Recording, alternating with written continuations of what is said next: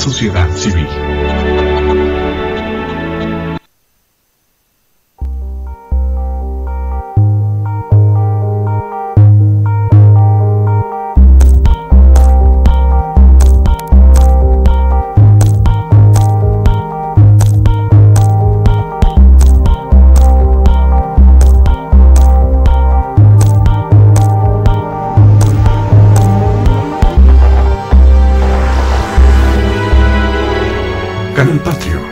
imagen, imagen de la sociedad civil.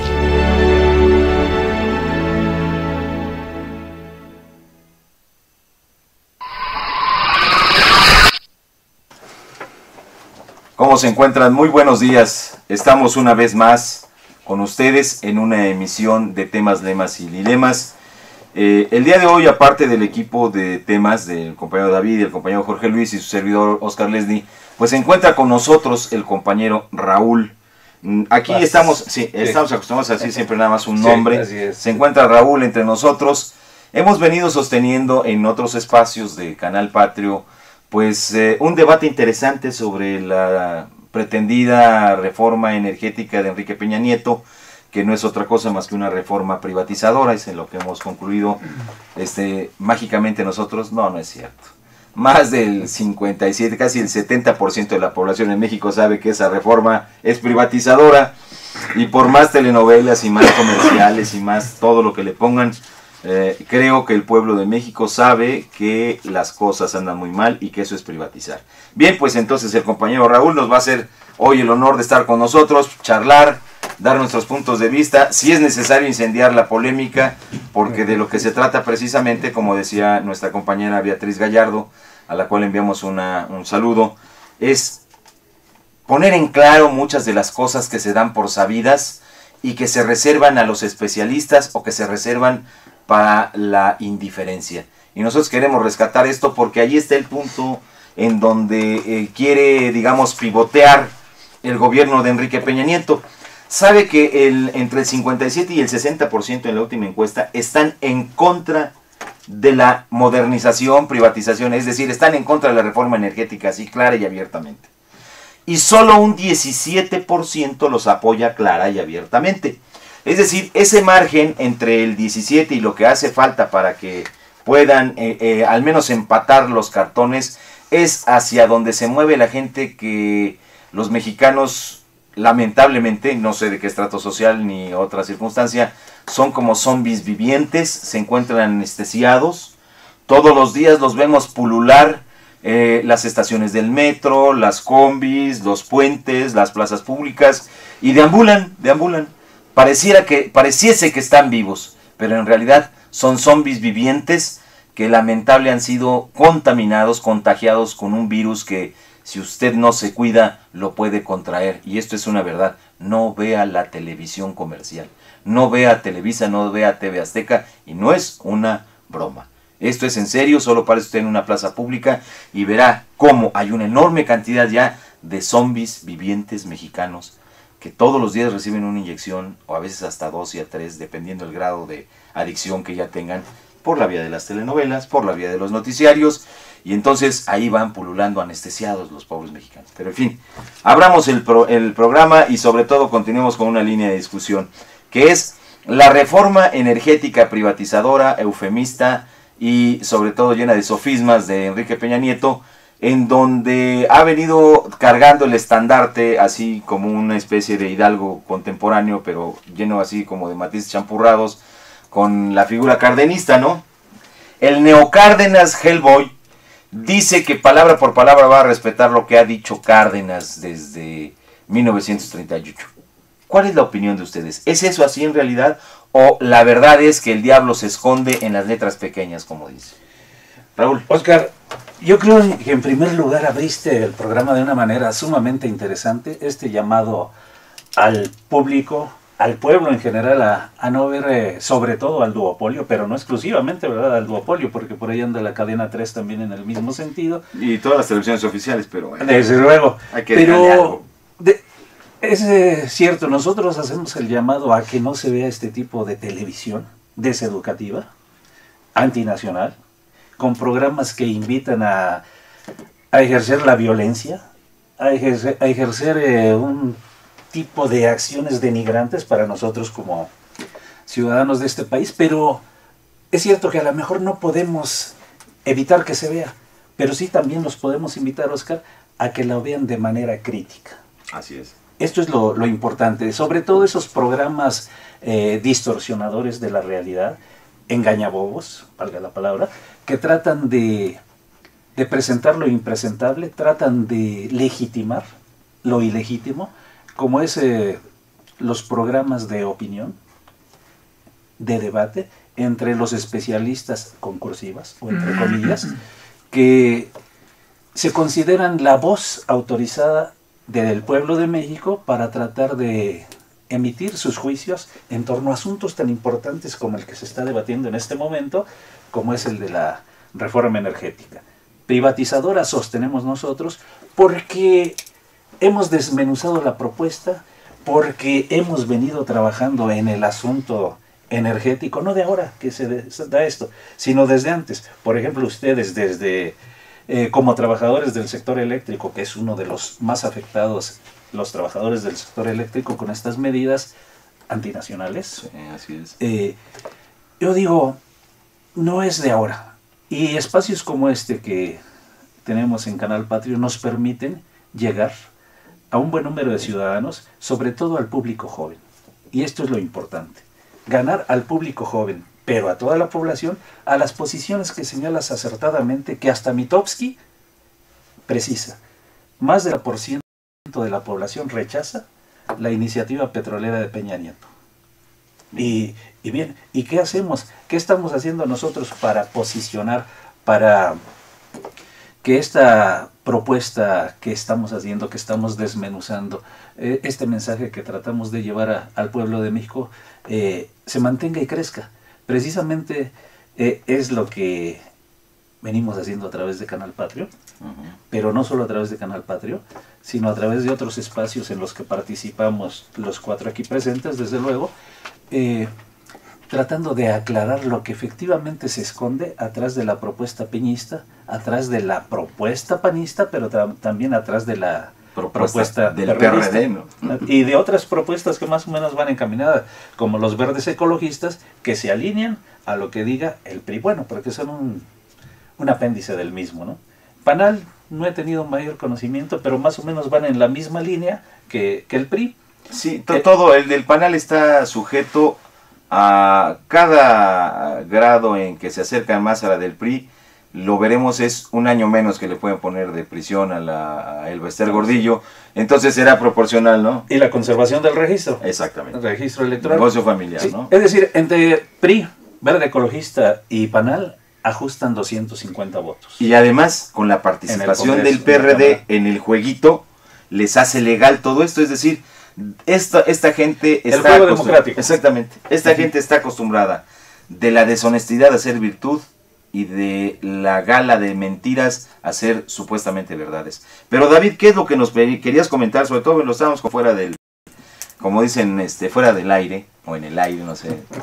Estábamos eh, aún antes de iniciar el programa, que en la investigación, o en las investigaciones que ha venido haciendo, la documentación que ha venido siguiendo David, entra una ruta muy particular que desenmascara, yo diría casi el 90%, el 100% de toda la parafernalia montada. ¿En qué consiste, David?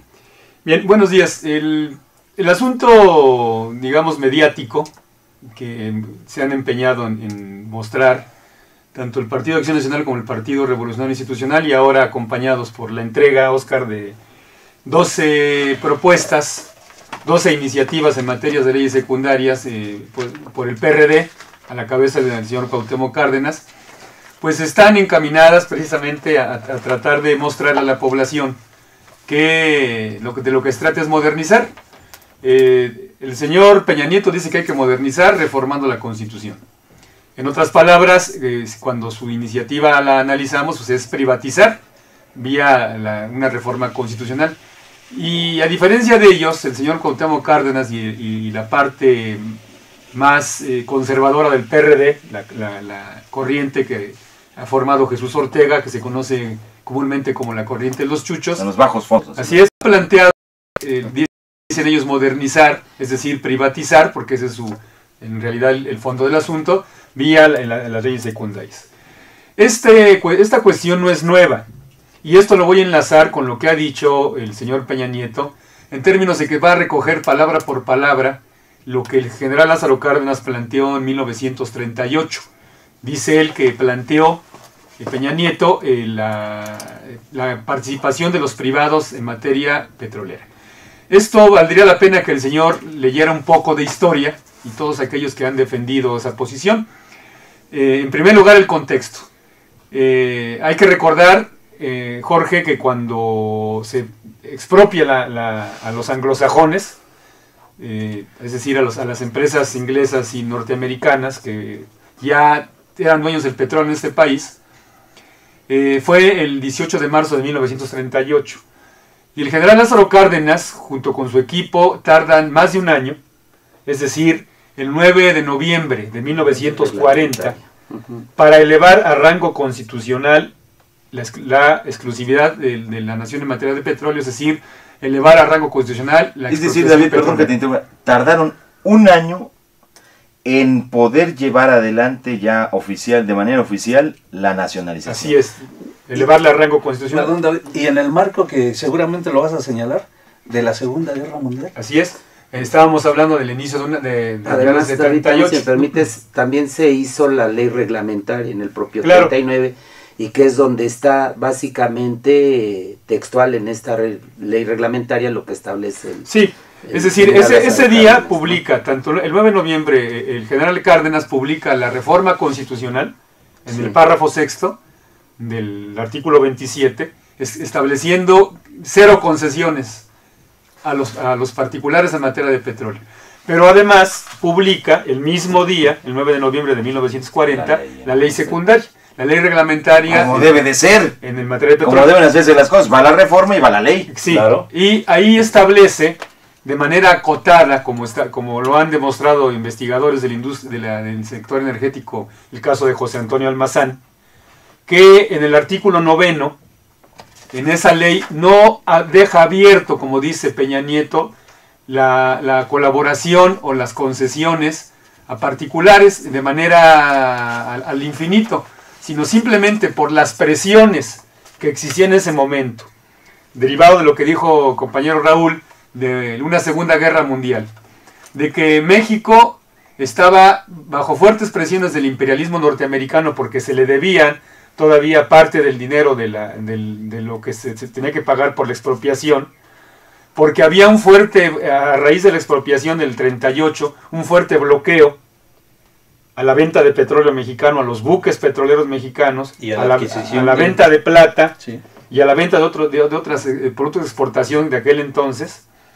eh, eh, por Y a ese la tipo de presiones. de las refacciones para mantener Así en es. funcionamiento la industria petrolera. Entonces, producto de esas, de esas presiones, el general Cárdenas lo que hace, de manera astuta, es en la ley secundaria decir que pudieran colaborar de manera muy acotada sociedades de empresarios mexicanos. Estrictamente mexicanos. Es decir, no deja eh, Lugar a duda. lugar a dudas que los empresarios transnacionales, colectivo. anglosajones o franceses o españoles, etcétera, pudieran participar en una empresa por un razonamiento eh, fundamental e impecable, que ya nuestro país había pasado por un largo proceso desde que se detecta el petróleo a principios del siglo XX en manos de los extranjeros y que estos se habían convertido, además de tener un amplio despotismo, prácticamente en los que dictaban, en los que regían, en los que tenían la rectoría de que tanto hoy el señor dice que si que no hay problema que aunque se venda el pet- se comparta la renta petrolera, se conserva la rectoría, pues no ha sido así. La experiencia mexicana, ya no vamos a hablar de Noruega como habla en su iniciativa, en su supuesta exposición de motivos que no lo es. Además, ya lo dijimos el programa pasado, ni siquiera esa iniciativa podía haber sido recibida porque no tenía exposición de motivos. Entonces, a partir de ahí, este problema se da así. Entonces, ahí tenemos una primera consideración. Tres meses después, y con eso concluyo, el general Ávila Camacho, Manuel Ávila Camacho, le da al traste a esa reforma a la ley secundaria y ahí sí Peña Nieto coincide. En realidad la iniciativa del señor Peña Nieto está inspirado o inspirada en lo que dijo el general, eh, el señor eh, Manuel Ávila Camacho, que reforma la ley reglamentaria dejándole a los particulares transnacionales la participación en materia de petróleo. Él dijo en su toma de posesión lo siguiente, Manuel Ávila Camacho, cifraremos nuestra seguridad de expansión económica principalmente en las energías vitales de la iniciativa privada. Fíjense nada más. Hoy lo mismo dice Peña Nieto, nada más que no lo, lo oculta y, fundamentalmente se le quiere dar un, un aspecto democrático o nacionalizador a una iniciativa que quiere entregar. De entrada, todo a las transnacionales. lo dicho hasta aquí por David nos lleva a mínimamente tres puntos de inflexión.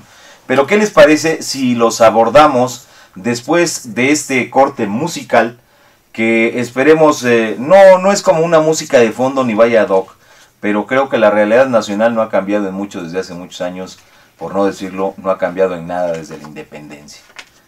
Vayamos pues a ese corte musical.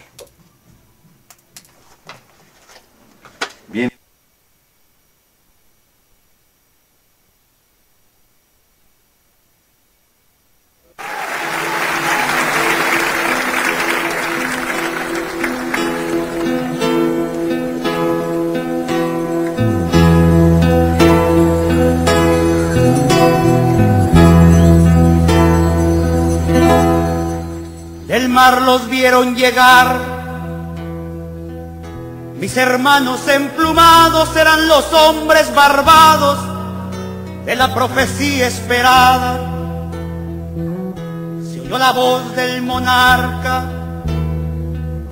de que el Dios había llegado y les abrimos la puerta por temor a lo ignorado. Iban montados en bestias como demonios del mal iban con fuego en las manos y cubiertos de metal. Solo el valor de unos cuantos les opuso resistencia y al mirar correr la sangre se llenaron de vergüenza. Porque los dioses ni comen ni gozan con lo robado y cuando nos dimos cuenta ya todo estaba acabado. En ese error entregamos la grandeza del pasado y en ese error nos quedamos 300 años esclavos.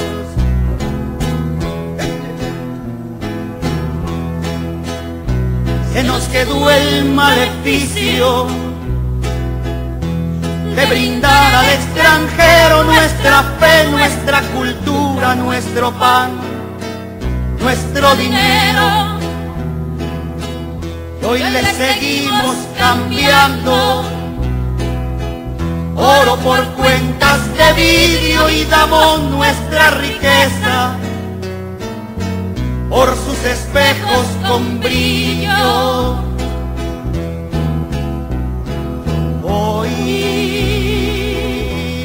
En pleno siglo XX, nos siguen llegando rubios y les abrimos la casa y los llamamos amigos. Pero si llega cansado, un indio de andar la sierra lo humillamos y lo vemos como extraño por su tierra. Uh, hipócrita que te muestras, humilde ante el extranjero, pero te vuelves soberbio. con tus hermanos del pueblo.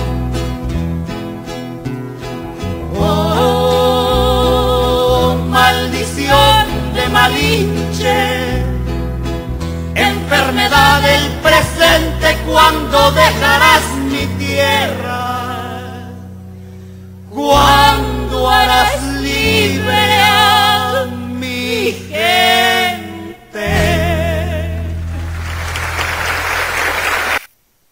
reforma energética es la que hace falta.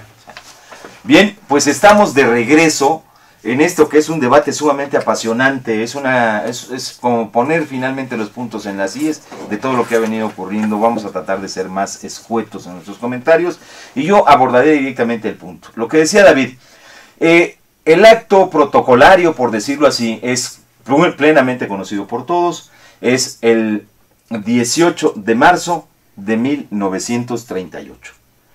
El 18 de marzo de 1938 eh, el país se ve convulsionado con la noticia que lanza el general Lázaro Cárdenas del Río porque ha nacionalizado la industria petrolera, una industria que se había negado a acatar las mínimas normas de, señaladas por la Constitución de 1917 y esto lo digo a guisa de lo que dijo hoy un panista, un, un panista de estos que trabajan en el, en el circo del PAN, un partido de tres pistas, calderonistas, panistas de eh, Madero y, cucarachas que por ahí pululan. Este tipo dice que espera que vengan las empresas extranjeras con responsabilidad social. Pues esa responsabilidad social ya la conocimos los mexicanos desde 1938 y la cucaracha esta no sabe ni de lo que habla. Pero bueno, es así que en 1938 el mundo era uno y para 1940, perdóneme, esto es muy dialéctico, ya era otro.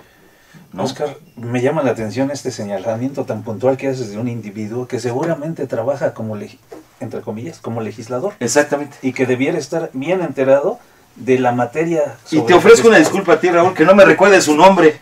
Pero es que de la sabandija esta, solo de oír el nombre a veces le va uno. Así es. Pero ya lo precisaremos. Y déjenlo usted en un post-it o en una tacholita en su eh, este tablerito de corcho o pongámonos en la serie. La próxima vez que yo hable de este señor, voy a decir su nombre en respeto a su señora madre porque gastó el dinero suficiente en una Pero dice que trabaja de legislador. Trabaja de legislador, hoy estuvo en un programa con Carmen Aristegui, igual que, que el viejito, es senador, ¿verdad? Igual que el viejito este, ¿cómo se llama? La vestida, que es travesti en realidad el señor, y que en sus orígenes familiares está el aquel famoso arzobispo La Bastida, que fue el que encabezó, pagó y financió toda la expedición a Miramar para entregar el país a Juárez. Eso me falta nada más que nos entreguen eh, una compañía que hace todos estos seguimientos eh, de las heráldicas y pues de, dicen que de raza le viene al galgo. Bueno, pues terminando con eso. Eh, en el año de 1938 el mundo todavía no conocía la ambición desmedida de la derecha cavernaria europea encarnada tanto en Benito Mussolini como en Adolfo Hitler ni los más rancios, que por rancios igual de olorosos los británicos, habían conocido el, de, el desmedido poder de alguien que quería arrebatarles al imperio tanto sus posesiones como su liderazgo. Y empieza una pugna por el mercado. Eh, se justifica mucho, los historiadores dicen que, bueno, pues fueron las condiciones del pacto de, de Versalles al término de la Primera Guerra Mundial lo que obligó a los alemanes a sentirse rechazados. No, es la lucha del capital que no tiene nación, es decir, no tiene madre, no tiene origen, no tiene origen, en donde empieza a cambiar el mundo, ¿no? Entonces tenemos ese, ese, esa cuestión tan fuerte que cambió, y si alguien lo duda, cambia la geografía mundial. insuflando en sus poblaciones sentimientos nacionalistas. Exacto. Y igual que Peñanito, lleno de sofismas, ah, diciendo que es nacional-socialismo en donde nada tenía que ver con las tesis, eh, digamos, planteadas económicamente por Carlos Marx, así como políticamente con una serie de grandes pensadores de, nuestra, de nuestro tiempo y nuestra realidad, como lo son Lenin, Trotsky, este, Mao Zedong, en fin, toda la pleyada de gentes de, que han hecho al marxismo darle un cuerpo más coherente. Pero en fin, entonces hay ese entorno que es primero la conflagración mundial y después la posición norteamericana. Los Estados Unidos de Norteamérica en 1938, llenos de soberbia, pues evidentemente no querían atender ningún reclamo que se les planteara incluso por un presidente de un país que se decía no era bananero, que era en ese entonces el país de México, pero que tenía grandes costuras puestas desde los Estados Unidos, como hoy se sabe que ha sido el financiamiento de los norteamericanos a Madero para que pudiera dar todo lo que hizo en, en términos de la Revolución Mexicana y otras cuestiones, ¿no? Pero bueno, finalmente hacia donde queremos llevar la discusión es que también en México, en el año de 1938, la industrialización era un mecanismo en ciernes que estaba arrancando, que necesariamente tenía que contar con la infraestructura, tanto eléctrica, que ahí sí estaba muy robusta, porque eran compañías eléctricas extranjeras, y la naciente industria petrolera que estaba orientada básicamente a la exportación, es decir, a, mantener los mercados norteamericanos y europeos eh, eh, funcionando para ese régimen económico neoliberal, y habrá, o liberal en aquel entonces, capitalista salvaje, y habrá que recordar una cuestión muy, muy, muy, muy puntual. El mundo, o particularmente las sociedades occidentales, venían saliendo de la gran crisis, la depresión de 1929. ¿sí? Ese crack financiero que había ocurrido en los Estados Unidos había dado la pauta para que llegase a los Estados Unidos un presidente como lo fue Franklin Delano Roosevelt y planteara de inmediato puesta en marcha al país con un plan que se llamó New Deal, que es el nuevo día y que no consiste en otra cosa más que hacer grandes inversiones públicas en el, estado rector de la economía y entonces el modelo de desarrollo de las repúblicas estaba influido por dos vertientes desde el punto de vista económico. Uno, el keynesianismo, que esto es una política económica y una estructura de carácter financiero económica diseñado por John Maynard Keynes, que eh, fue un economista eh, británico que tuvo, eh, digamos, la visión, yo no digo acierto, sino simple y sencillamente tuvo la visión de retratar el momento de 1917 cuando los bolcheviques toman el poder en Rusia, hacen caer un imperio, afortunadamente creo que no dejaron vivo a nadie de ese de, de, de esa corona, y perdón que lo diga así de cruel, si no hubiera sido más discusiones que si son más malos o menos malos los bolcheviques, fueron muy malos fueron muy malos, se cobraron con sangre, con cinco vidas, este, millones y millones de otras vidas. Y sí, sí, es, muy malo. Y de agravios diferentes. Y de agravos diferentes, ¿no? O sea, por, por, aquello de que no, pero no se vale matar a cinco personas. Pues no, no es correcto ni matar a cinco ni matar a una, y menos ellos que como zares ordenaron la ejecución de millones de millones, así, y escúchenlo bien, fueron entre 18 y 17 millones a lo largo de toda la existencia de esa de los Romanov en donde desde el colgados, fusilados, violados, vejados, les quitaron sus, sus tierras, en fin, una serie de tropelías. Así estaba el mundo, así estaba el mundo. Entre lo económico, debatiéndose porque la derecha quería más y los gobiernos eh, desde Estados Unidos habían dicho no, hay que, hay que, hay que controlar. Y desde Europa decían no, es que no hay que castigar tanto al trabajador porque se puede rebelar y puede suceder lo que ocurrió en la Unión Soviética. Eso ocurría en el mundo y en México, imagínense, un país 90% agrario, sin haber concluido realmente todos los idearios de la revolución, no había todavía una repartición de la tierra en términos de lo que fue la reivindicación planteada por los revolucionarios en 1910 a 17, eh, un país en donde todavía Carranza, pues hay quien discute si fue o no buen presidente cuando de inmediato cuando llega después de aprobada la constitución política de 1917 aplasta a los obreros, en donde para hacer un ajuste de cuentas manda a asesinar eh, mediante traición a Emiliano Zapata y conjuga, se conjuga con todas las fuerzas que posteriormente a su asesinato bien o mal habido en Tlaxcalaltongo, Puebla, los que él impuso, que son el Manco de Sonora y el profe de Sonora, que es Calles, pues mandan a asesinar a, Francisco Villa. Bien, pues el país convulso con todas estas cosas, regresando las élites, ahí está este Santiago Krill, que él sí nos puede decir cómo regresó su abuelo de allá de los Estados Unidos cuando lo mandó traer Obregón. Y entonces así estaba el país y cosas que dan risa cuando tenemos a hoy a un señor que se llama, ¿cómo se llama? Enrique este, Cosa Krause.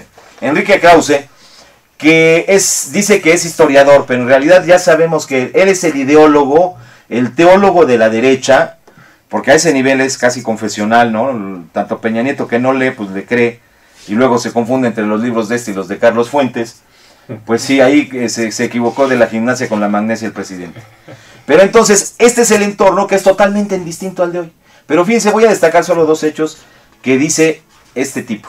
La prudencia de Lázaro Cárdenas. Llama prudente a Lázaro Cárdenas, porque ahora como Lázaro Cárdenas, lo hemos dicho, lo han tomado como estandarte, como Virgencita de Guadalupe, lo, traen para arriba y para abajo y dicen que era muy prudente. Y después de relatar una, una parte, yo quisiera que terminamos con esta discusión y dice, en varias expediciones que realizó por los campos petroleros, habla del general Cárdenas, de las compañías extranjeras, dice el general, hablando en primera persona, me acompañó el general Mújica y juntos presenciamos la actitud altanera de los empleados extranjero- extranjeros con los trabajadores mexicanos.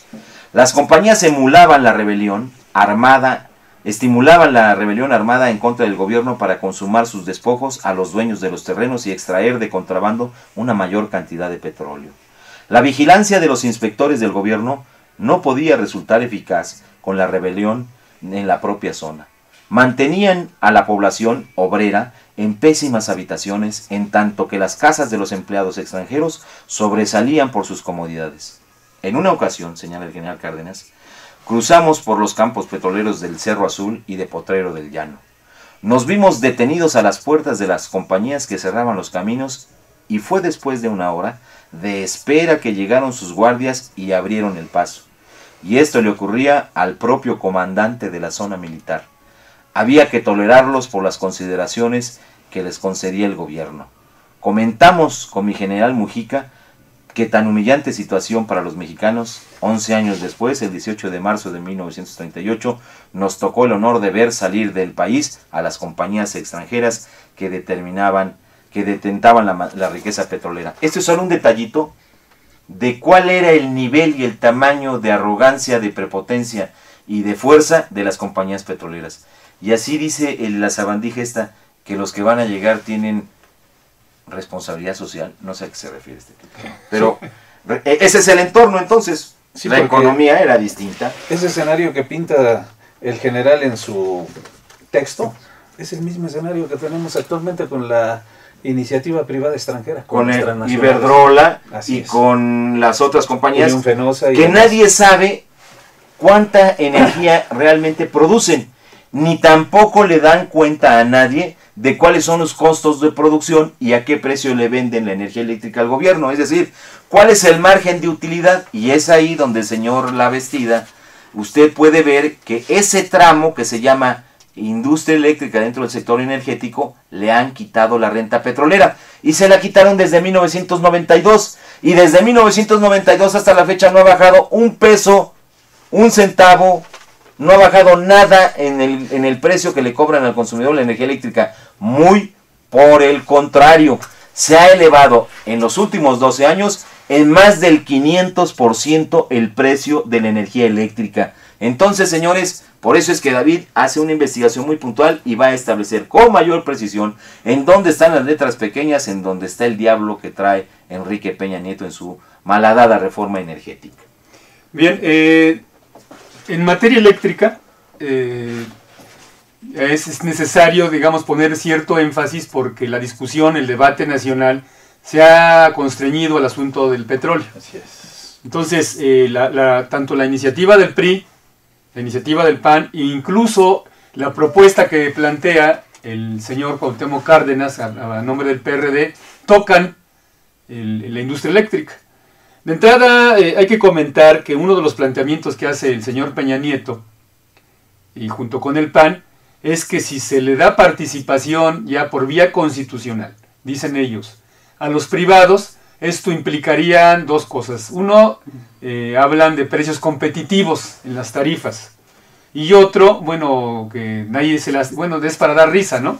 De manera textual cito lo que acaba de plantear en el 76 aniversario de la Comisión Federal de Electricidad del señor Enrique Peña Nieto. Dice que de aprobarse en materia eléctrica, es decir, las modificaciones al artículo 28, se crearían cientos de miles de empleos. Este mismo planteamiento se hizo el 30 de noviembre del 2012, cuando eh, los diputados, de manera antinacionalista, reformaron la ley federal del trabajo. Y ya dimos cuenta aquí, eh, hace un par de semanas, si mal no recuerdo, que no solamente no se han creado empleos en este país, eh, el, el periódico La Jornada dio cuenta de lo que ha sucedido solamente, Oscar, en seis meses en nuestro país. En 31 empresas nada más. ¿eh? Si nos podemos saber las 200 empresas que hay en este país, pues el, panorama es desolador. Solamente en 31 grandes empresas, entre los que destapa el grupo Carso, Televisa y TV Azteca, que son los promotores de la privatización, eh, han despedido los angelitos 680 mil trabajadores de enero a junio del 2012, del 2013, perdón. Entonces, en este planteamiento pues, es, la, es la misma zanahoria. ¿Cuál es la realidad que se da en el sector eléctrico? Bueno, hay que decirle al señor Peña Nieto que desde 1992, cuando su padre putativo, el señor Salinas de Gortari, reformó la ley secundaria, eso habría que recordarle también a Cuauhtémoc Cárdenas, que está planteando esas modificaciones, y que por cierto, Oscar, hay que decir que en su iniciativa el señor Cuauhtémoc Cárdenas no toca, pero ni por asomo, las modificaciones privatizadoras que realizó a esta ley el señor Salinas de Gortari. O sea, deja tal cual Deja el, reglamento de aportaciones así llamado. Sí, es decir, sigue habiendo participación de los particulares. Tengo aquí el dato de cuánto tienen ya en megawatts. Estos datos lo pueden verificar, ustedes entran a la página de la Secretaría de Energía, son datos oficiales. Y aquí tenemos, no dicen mucho luego estos datos si los vemos en frío, sin contexto. O si no sabemos. Claro, eh, porque hablan de megawatts. Sí. Eh, la capacidad instalada, dicen ellos, capacidad efectiva de generación que hay en el sistema eléctrico nacional. Esa es la posibilidad que se tiene de generar. Es decir, es como quien tiene 100 pesos, dice yo aquí tengo 100 pesos, pero en la posibilidad del gasto no les está gastando todos. Es Claro. decir, Tiene 53.553 megawatts nuestro sector eléctrico. 53 mil, Este dato es a junio. 30 de 53,000 junio. qué? 553 o sea, megawatts. 53.5, 53 y medio de millones de millones de watts de energía eléctrica en disposición de la red eléctrica nacional. Es decir, no hay posibilidad de un colapso eléctrico, ¿no? Pero Bien. para nada. Ahora, ¿qué ¿cuánto se consume? Más o menos. eh, eh, no tengo el dato, pero El- lo podemos sacar. aprox, aprox, así Bien, de esto, normalmente las redes eléctricas siempre se operan entre un 65 y un 70%. Claro, ya margen de reserva. El resto queda como un margen de operación. Es distinto al margen de reserva de las plantas. Claro. Pero la, la la capacidad instalada, para que nos entendamos, es la energía eléctrica que siempre fluye por todos los cables, porque habrá que recordar que la energía eléctrica no se almacena, no se guarda, siempre tiene que estar en movimiento. Desde el momento que se está produciendo en una planta general y se pone a la disposición de la red, tanto en transmisión, subtransmisión, Distribución. distribución y, y- y ya el consumo, ya sea comercial, industrial o doméstico, la energía siempre está fluyendo. Entonces, y de esos, rango además. Ajá. Ajá. De esos 53 y medio millones de gigawatts, saque usted rápidamente el 60%, 5 por 6 son 30, son, quedan alrededor de 20 me- 20 megas, 20 Claro, mil megas. más o menos. Ok. 20 mil megas. Bueno, de estos 53.553 megawatts, datos de la Secretaría de Energía y de la Comisión Reguladora de Energía están en manos de los privados, empresarios particularmente españoles, la cantidad de 30.992.3 megawatts. mayoritario. Si hacemos una simple regla de tres, y aquí la tengo, la pongo a la vista, es una cuestión aritmética, resulta de ahí que a junio de 2013 los privados, que ahora Peña Nieto, que esto, que esto es ilegal, ahora lo quiere legalizar a través de una modificación Privatizar lo 28, privatizado, decíamos ayer. tienen en su poder 57.8% de la generación eléctrica mexicana. Entonces, ¿esto en qué ha incidido? Bueno, uno, en violar la Constitución de manera directa, porque el artículo 27, su párrafo sexto, dice que no puede haber en ninguna parte de la cadena productiva participación de particulares en materia eléctrica. Dos, estos privados utilizan, Jorge, como lo, lo sabemos los trabajadores del sector eléctrico, particularmente plantas de ciclo combinado, Gas. gas. Bueno, estas, estas plantas, eh, el gas es muy caro. Voy a dar el dato. Eh, CFE, fíjense nada más, le compra a Repsol Para Eh, después el vendérselo a gas, los privados. eh, el gas para eh, poder echar a andar las plantas. Le, le compra el, gas a, a 16 dólares. El, el- le llaman la unidad, no recuerdo. BTU. El BTU. El Beto. Y Repsol se la compra a Perú a punto 50 centavos de dólar. Es decir, La viene a este, revender aquí. Nos, la- nos tiene una ganancia por, BT por cada BTU 15, de 15, cin- 15 dólares con 50 centavos. es decir, el La 1500%, corrupción. el Así 1500% de utilidad. ¿Y esto en qué incide? Bueno, incide entonces en que las tarifas, usted y yo y todos los usuarios es, domésticos las paguen a precio de oro. Oscar dio un dato que es, además no es exagerado, ¿eh? dato de la Cámara de Diputados en el sexenio de Calderón, las tarifas eléctricas subieron en promedio a eh, eh, 600%. Me quedé corto.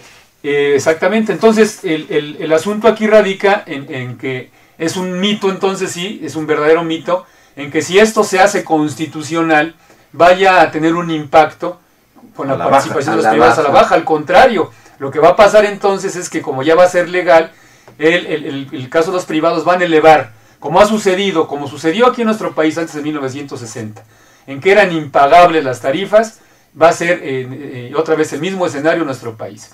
Por otro lado, hay que decir Que además, si en este terreno me permite dar Claro. una opinión, David, ya hay ejemplos claros que sin todavía estar modificada la Constitución en sus artículos 27 y 28 constitucionales, ya la iniciativa privada, por medio de la, de la generación y los permisos que se les han otorgado, hay quienes ya desarrollan su propia Energía. energía y se compra, salió un reportaje en el proceso en donde ya está hay un fraccionamiento En Guadalajara, ¿no? Sí, en Guadalajara, en Zapopan, no recuerdo ahorita el nombre del fraccionamiento, en donde ellos están generando su propia energía y ya no pasa absolutamente Bajo nada. la por modalidad de auto- de autogeneración. De autogeneración, exactamente. Pero fíjense nada más hacia dónde van las cosas. Esto tiene mucho que ver con dos puntos. O sea, lo que dice David es un hecho real. En todos estos años ha habido un incremento del 600% en el precio de la energía eléctrica, porque los costos los ignoramos. Claro. Son costos marginales, son costos ocultos o simple y sencillamente se agregan a lo que es una sociedad anónima. Y en este caso, pues imagínense, una sociedad anónima en, eh, que opera en contradicción al artículo 27 constitucional. Y yo le diría a Enrique Krause, señor Krause, ¿no se da usted cuenta que no es exactamente lo mismo 1938 que, mil eh, que 2013? Y desde 1992 su pupilo, históricamente hablando de Carlos Salinas, pues creo que no le salen ni las cuentas ni a usted ni a él. Y por si fuera poco, miren, los Sí. diarios de hoy, y este que no se precia de ser un diario realmente para generar conciencia en el país, sino para generar terror. El diario Reforma dice, cae economía. Y nos da, el crecimiento dice, el, proyecta el Producto Interno Bruto Nacional en 1.8%, cuando al inicio del año decía el señor Videgaray, el garapiñado, creo que le decían de chiquito, eso me lo pasaba. Este, es el 3.5%, decía él que íbamos a crecer. Miren, Y, y peor tantito, si me permites la acotación, Oscar. Hace dos semanas hablaban incluso la banca privada que la caída de la economía era al 2.2, 2.3%. 2.3%, la habían ubicado Sí, ahí. Así es, pero hoy nos, din- nos dicen que 1.8, 1.8. lo que significa ese 0.5% en materia de generación de empleo, etcétera. Es- lo que nos viene a demostrar bestial, ¿no? que las proyecciones económicas del gobierno son engañosas, Son mentirosas. catastrofistas. Así, no, pero las que previeron para este año, Ah, claro. sí, son engañosas y hoy nos presentan este Porque escenario. entonces resulta que es, este Raúl, lo que tú me estás diciendo es, Sí. yo te presento una cifra para cuando te voy a mandar mi presupuesto Así de es. egresos, ¿no? Me Sí. viento en popa. Claro, pero además hoy te dice, un- te presenta un escenario catastrofista en función de las propuestas de reforma energética, Claro, porque estoy proponiendo que con esto vamos a generar 500 mil empleos, vamos a, a reactivar la economía, todos los sectores. Es, ah, caray, qué casualidad que de pronto se cae la economía ¿Ah, uno sí? punto y fracción por ciento. De- eh, y total. Y luego te dicen los privados, eh, estamos en desaceleración, pero no está muy pronunciada. Vamos a salir pronto. Y con las reformas nos vamos Más. para adelante. Y fíjense que esto que señala Raúl y que hemos venido discutiendo y que sale a colación por lo que dice David, en realidad no es más que la muestra de la normalidad de cómo marcha la economía neoliberal en nuestro país. Hay datos que nos presentan que en términos de lo que sería el fracaso económico de la tecnocracia neoliberal, y lo ponen en cifras. Este es un libro que está circulando que se llama El Gran Fracaso, las cifras del desastre neoliberal mexicano, y lo edita eh, parte de lo que es la estructura de Morena. Y este, en la portada viene Martí Batres y a- eh, quien haya escrito este libro tiene cifras muy buenas. Eh, dice en esto que él denomina fracaso económico de la tecnocracia li- neoliberal, nos da datos. Más bien dicho, el escritor es un gran compilador de datos.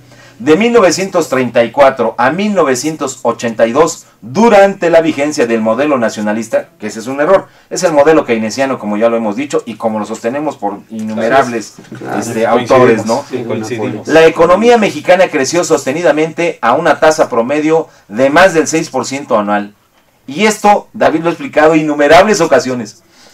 El Estado rector, el Estado interventor, el Estado que la inversión pública era el más del 50%, es quien fue comprando todas las empresas que eran un fracaso en manos de los privados Claro. y que se nacionalizaron. Y una vez que se sanean y se ponen en Como marcha, el caso de fueron entregadas y vendidas, que ya el, el número lo conoce muy bien este David. Y más adelante nos siguen dando estos datos. En cambio, el crecimiento promedio de la economía nacional durante la era liberal de por acá. 1982 con datos a, a 2012 ha sido menor al 2%. Es decir, en lo puramente económico, sin ana- analizar la distribución del ingreso y la cuestión social, el modelo neo- neoliberal ha sido un fiasco. Aquí tenemos muy claro, se suponía que los tecnócratas eran insensibles en lo social, pero eh, no me gusta dar estas consideraciones. A lo que me refiero son a los datos que trae aquí. En 1983 la economía decreció. Bien, vamos a seguir dando estos datos para cerrar el programa con dos cuestiones. Ni la economía era la misma y vamos pues a un corte eh, musical. Hay un montón de datos. Sí, hombre. Mira, velo. Te quedas corto.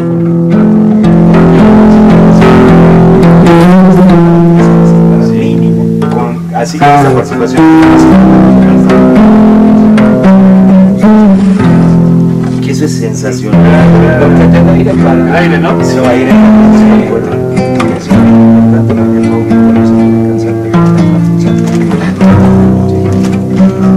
Mira, David, lo que estabas comentando ahorita, aquí está lo del perro. Ahorita das un ejemplo. Está, está muy corto. Aquí empieza la lectura y tú quedaste de dar el- Qué triste se oye la lluvia Nunca lo vas a tener los techos de cartón. Qué triste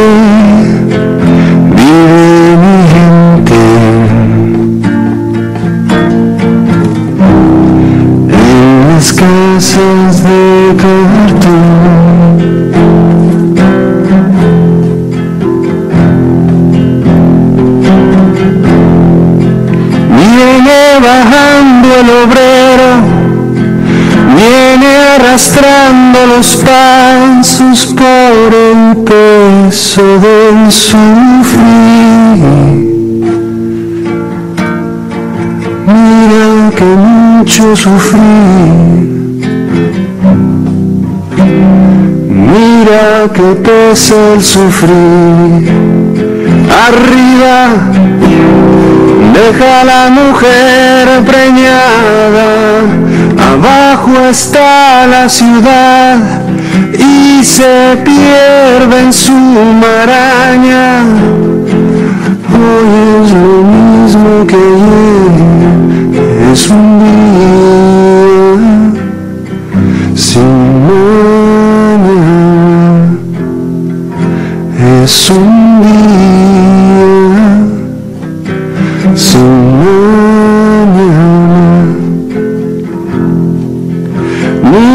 Color de mi tierra, con sus mismas cicatrices, millonarios de lombrices. Y por eso, qué tristes viven los niños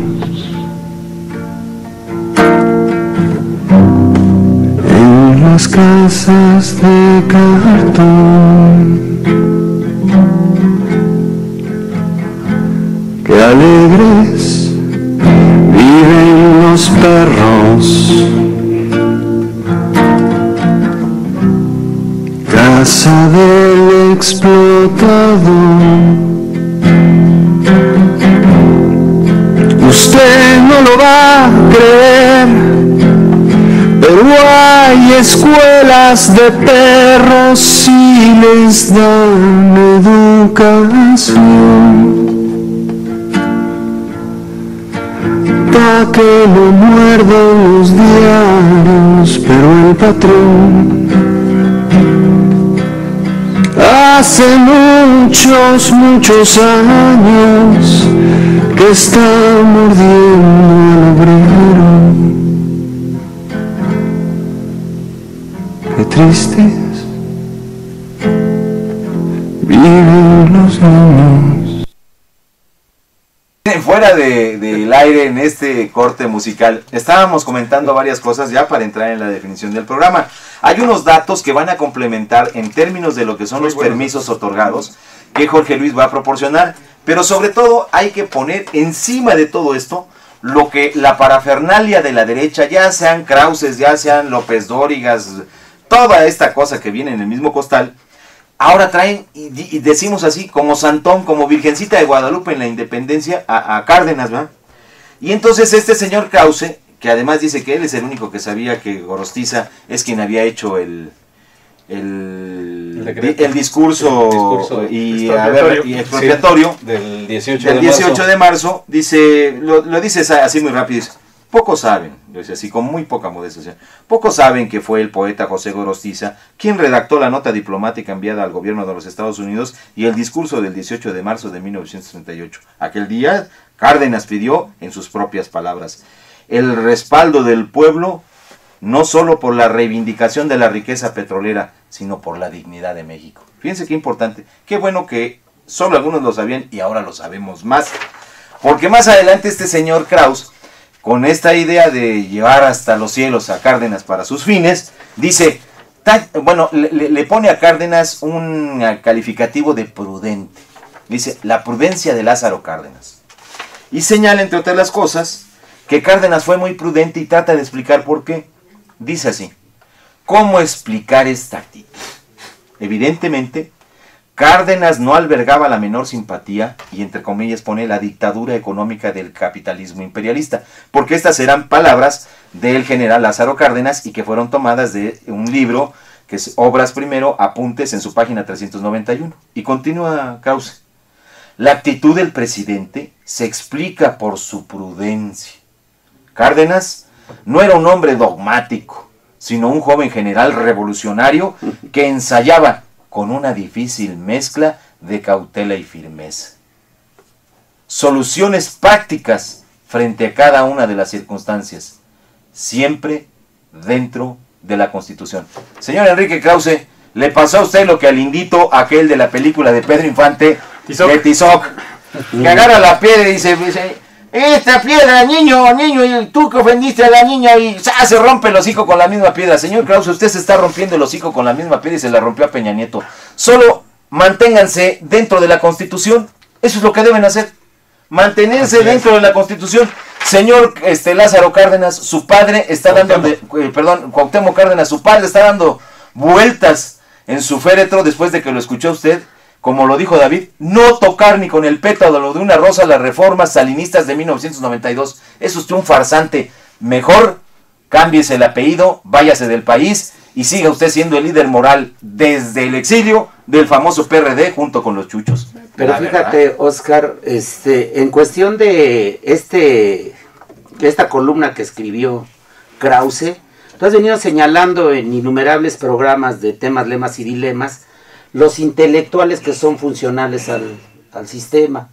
Y este es el papel que juega este intelectual, Loide, digámosle así, de Enrique Krause. Es el papel que está jugando. Pero además la forma en que el propio gobierno nos engancha en esta discusión que en esta misma tenemos.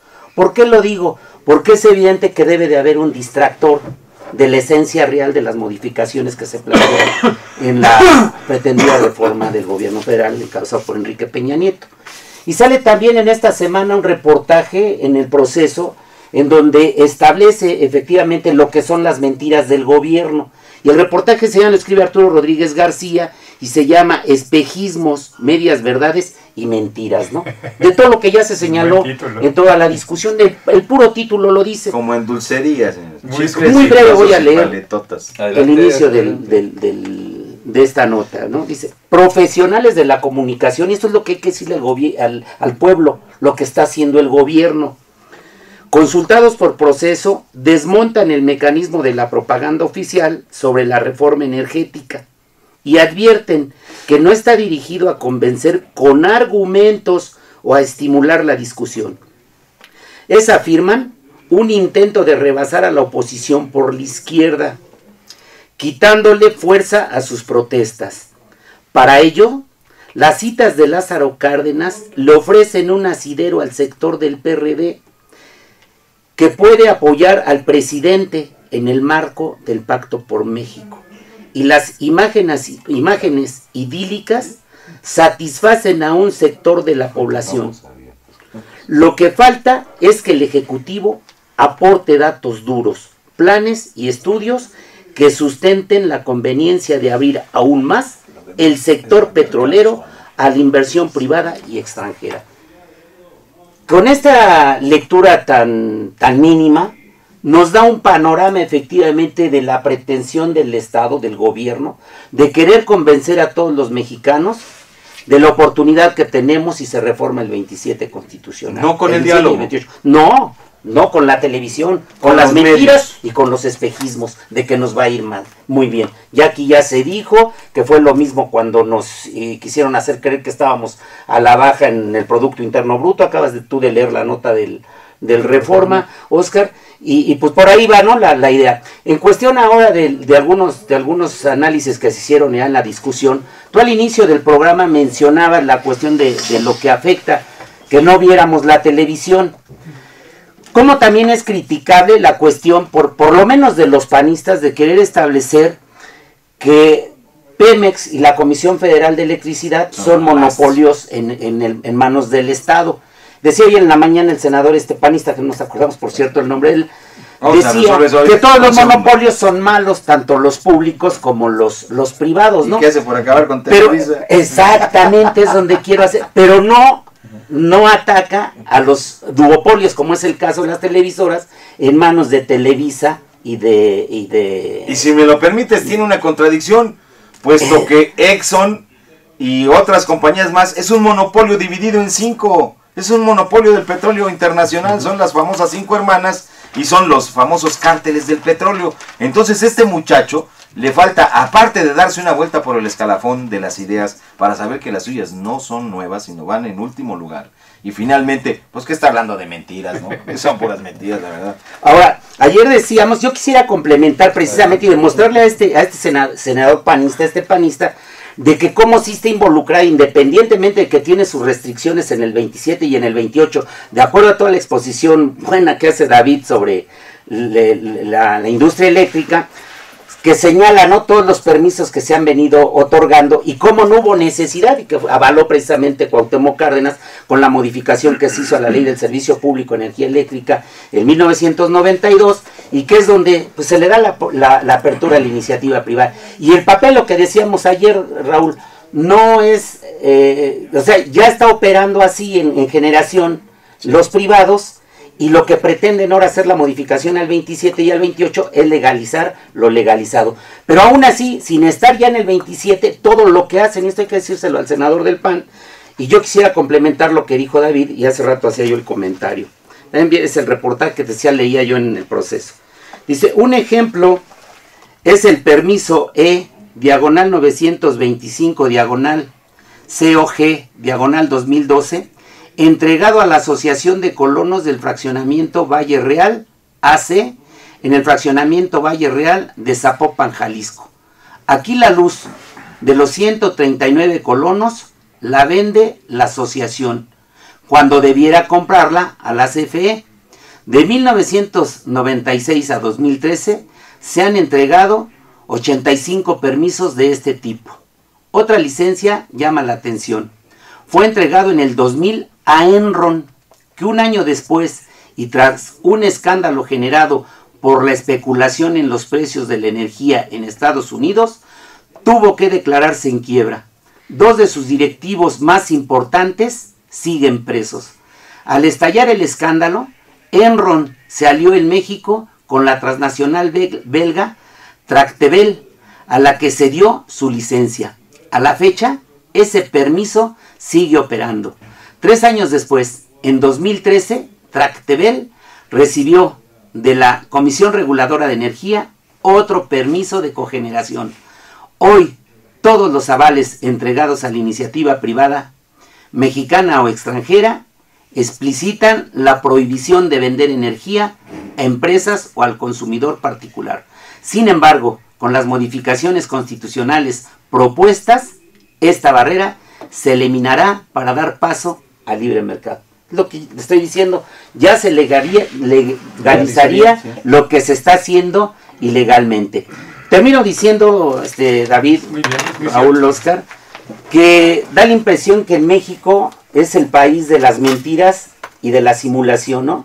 Se simula que estamos en una verdadera democracia cuando entre el Congreso de la Unión, entre todos los partidos, ya se señalaron también aquí en la discusión, van a decidir lo que en buena medida la mayoría de la población mexicana no estamos de acuerdo.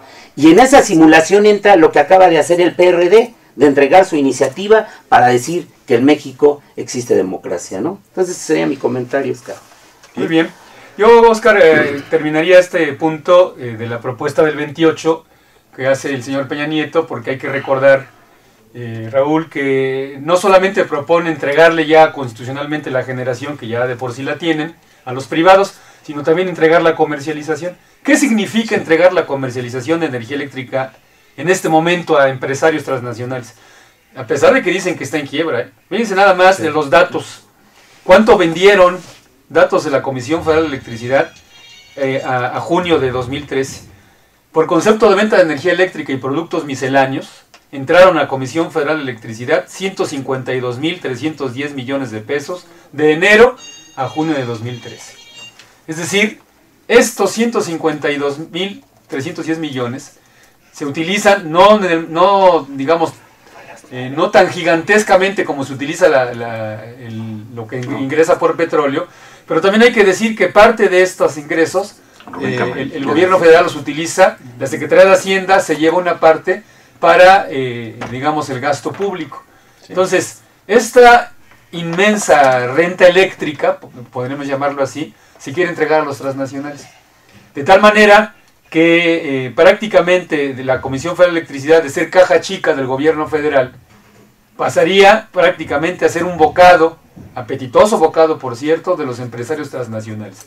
Iberdrola, Unión Fenosa, por supuesto, están de plácemes con esta iniciativa, porque saben prácticamente saben que, eh, de hecho, con, con lo que dice este, Jorge, ya lo que se viene haciendo de manera ilegal, eh, sería ya Legal. eh, sería constitucional. Porque fíjense, e- estos mecanismos en los que se, se simula, por ejemplo, hay otro ejemplo de una empresa en Torreón que tenía eh, permiso de productor independiente, es decir, solamente podía venderle su energía a CFE, y resulta que en contra de la norma eh, oficial, la Comisión Reguladora, Oscar, le cambió el permiso y eso no se puede hacer. Miren, Se lo cambió a ser autoabastecedor. esto que está diciendo David tiene mucho que ver con varias cuestiones que hay que ir ligando, es un enorme rompecabezas. Le cambiaron el permiso, es decir, es como, para que alguien lo vea, alguien tiene el uso de suelo para una casa habitación y de pronto ya construyó un hospital y tiene más de 10 años trabajando en ese hospital y hasta después le vienen a hacer el cambio de uso de suelo. Así es. Así de sencillo, ¿eh? Y fíjense nada más, todavía no se da la, la malhadada reforma energética de Peña Nieto y ya se balconeó en el periódico Reforma y en el reporte Índigo, que por cierto debo decir cuáles son sus intereses. Ahí está toda la burguesía nativa de Monterrey. Y como han sido excluidos, entonces por eso es que se quejan. En el famoso eh, oleoducto de los Ramones, que no obtuvo participación ninguno de los regiomontanos, porque si no estarían, mire, calladitos y bonitos, y siempre diciendo que los, los regiomontanos son muy buenos. Bien, está el oleoducto de los Ramones, está lo que hoy Carmen Aristegui sacó eh, con su corresponsal en Washington, Dolly Esteves, Ah, sí, es que verdad, señala sí. que Bloomberg no acepta los criterios contables que están negociando para que no se reconozcan las eh, reservas petroleras de Pemex, como quiere Pemex, que no se registren, y Exxon Shoal y toda la, Exxon y todas las petroleras dicen se tiene que registrar porque así son los métodos contables. Es decir, en pocas palabras, ya están trabajando como si la reforma petrolera hubiera sido aprobada. Les vale un cacahuate porque saben que hay millones de mexicanos anestesiados. Oscar, nos están vendiendo la idea de que baja el precio de la electricidad, baja el precio de las gasolinas, diésel y demás. Ajá. Y miren, son toda una serie de eufemismos como ya lo hemos dicho. Es decir, el primer eufemismo o sofisma que están manejando, mejor dicho, es modernizar Pemex FE igual a iniciativa privada, lo que en realidad es privatizar. Es decir, si luego entonces queremos modernizar no lo podemos hacer más que con la iniciativa privada. Creo que lo que está sucediendo en México es verdaderamente alarmante y no es una cosa menor, no es un juego, porque en ello están poniendo en riesgo la educación en México en su totalidad, Los servicios de los salud. servicios de salud, Sí. la infraestructura mínima que no se paga por, por cuotas, es decir, el seguir haciendo carreteras o manteniendo las carreteras que están libres de cuotas, que no están en manos de HOL, sobre todo que no están en manos de HOL, el consorcio favorito de Enrique Peña Sí. Nieto, que es de españoles y que es del salinato. Y sobre todo, el destino de México. Si alguien no lo quiere ver de esa manera, perdónenme, como mexicano les digo, como mexicano que me precio de ser bien nacido, con todos los errores eh, habidos y por haber, porque nadie es perfecto y yo soy el primer imperfecto de esta vida, les digo que el destino que le estamos cifrando a nuestros hijos y a nuestra inmediata muerte va a ser de penuria. Es la noche, le cae la noche a México, le viene la noche y la tormenta a México, le vienen tiempos de hambre a México y después esos zombies que se han convertido hoy en zombies anestesiados van a pasar a ser parias. Ese es mi comentario con el que cierro este programa. Nos quedan creo que un par de minutos. Bueno, los puntos de vista que estamos sustentando en la mesa no son fruto de, de la improvisación, no son fruto de una calentura, sino son resultado de todo un análisis, de todo un proceso de reflexión, de revisión, de investigación, de efectivamente cómo se encuentra el asunto energético en nuestro país, las necesidades que tenemos para modernizar, pero sin privatizar realmente. Es decir, eh, esto que señalas en la carta que enviaste al Reforma, que para mí es fundamental, es decir, hay otra forma de hacer las cosas. Bien, si nos permiten podemos cerrar el, esta emisión Adelante. con la opinión que dio temas, lemas y dilemas al periódico Reforma a guisa de este reportaje o columna de Enrique, panfleto, Ca- ¿no? Se de- Enrique. Krause. Y dice así, redes de intereses. No existe la menor duda de que México demanda a gritos una reforma energética. La pregunta de fondo es qué tipo de energética falta sacarle provecho todos los mexicanos al enorme potencial petrolero de gas y de generación de energía eléctrica que tenemos. Porque de nada sirve la más avanzada reforma si antes no se limpian las redes de negocios e intereses con las que un puñado de políticos y empresarios sacan ventaja y provecho ante las urgencias nacionales. Lo vivimos en la banca. Los mismos funcionarios que la privatizaron fueron los que en 1997 crearon el FOBAPROA para rescatar a los banqueros de su quiebra. Esto es lo que debíamos poner primero en el centro de la atención. Sí se requiere, sí, pero para que sea para todos, no para unos cuantos. Yo termino, Oscar, si me permites, también cerrando ya el programa, diciendo que la élite política tiene definida la cuestión de la reforma al artículo 27 y 28 constitucionales. Ellos. Pero quienes tenemos la posibilidad de frenarlo somos el pueblo de México. Acudamos al llamado, que nos guste o no, como ya hemos señalado también en otros programas, está siendo ese líder que actualmente es el que tiene ese poder de convocatoria, que es Andrés Manuel López Obrador, el 8 de septiembre, el, sí, el 8 de septiembre en el Zócalo, ¿no? Yo Alguien terminaría con eso. hacer. Dejemos a un lado la indolencia, nos escuchamos la próxima semana. Gracias. Bien, pues les agradecemos toda su atención y nos despedimos respetuosamente, no con un corte musical, sino vamos a dar fin a esta transmisión con una, un elemento que nos constituye como mexicanos. Esperemos que este sea el antídoto a los zombies, a los mexicanos dormidos que pululan por las calles. Pasemos a escuchar.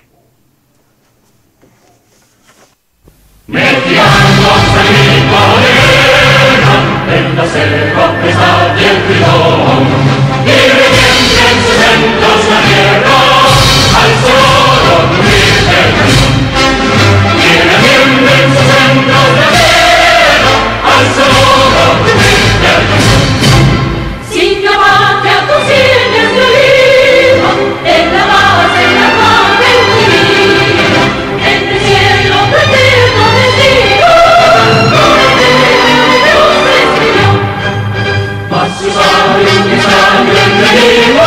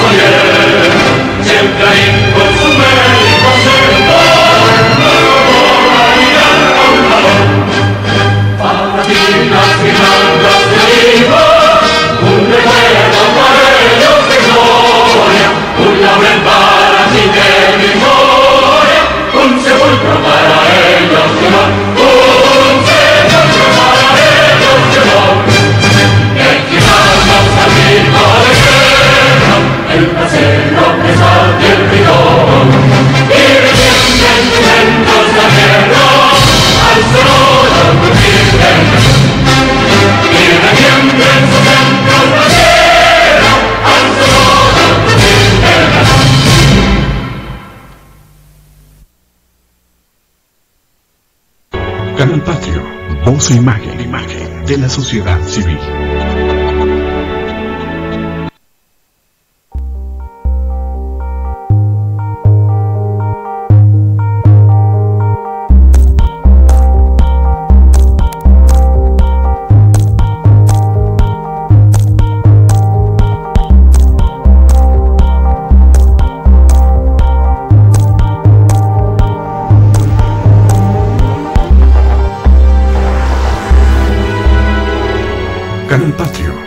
E imagen, imagen de la sociedad civil.